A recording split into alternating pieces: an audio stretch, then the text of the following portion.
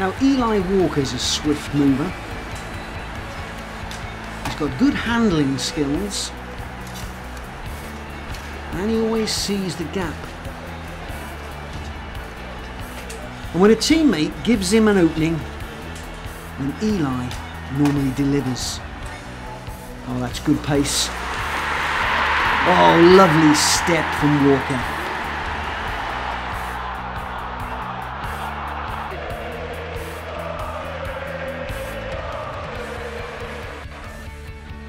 Support the Ospreys with Tesco's and buy your tickets from stores around the region.